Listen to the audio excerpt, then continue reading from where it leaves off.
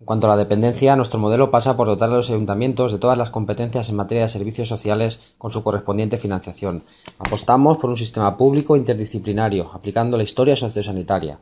Otro aspecto de especial importancia es hacer una radiografía del estado de la dependencia, de los problemas existentes con la baremación, con los cambios de grado sin ningún motivo y con el retraso en el pago de las prestaciones que en ocasiones llega hasta dos años. Bien, nuestra apuesta pasa por aumentar la plantilla en servicios sociales para poder atender estas necesidades, ya que en estos momentos se encuentran sobresaturadas.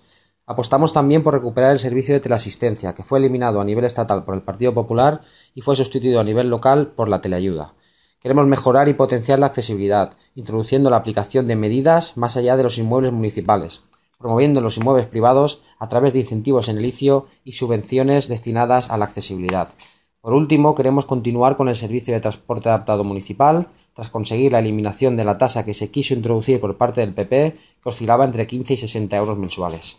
Por tanto, instaremos al Gobierno central a prohibir el copago en los servicios sociales, medicamentos y cualquier otro servicio básico e instaremos a la Generalitat a instaurar una ley que regule el tercer sector.